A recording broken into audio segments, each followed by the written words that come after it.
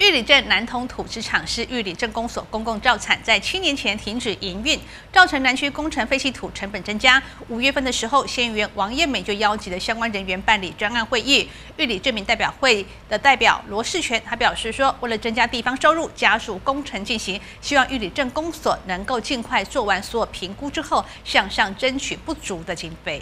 玉里镇南通土资厂为玉里镇公所的公共造产，在七年前停止营运，造成南区工程废弃土的成本增加。就在五月份的时候，议员王燕美邀集相关人员办理专案会议。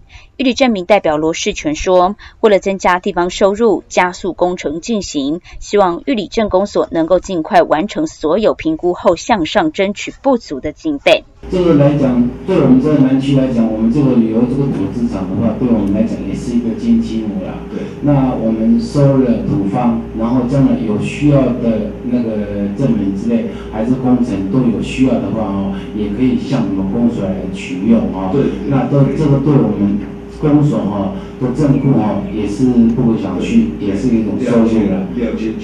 哎呀，是是是，所以说我希望是尽快进行的。好。好，因为我们那个。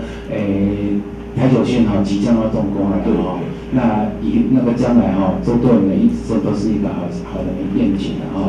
镇长蔡秋龙说，台九线拓宽工程产生的土方有急迫处理性，以及未来台铁双轨化也是势在必行。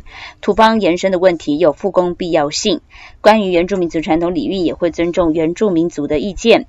南通土资厂复工之后的收入可考虑提拨部分作为部落发展的建设经费。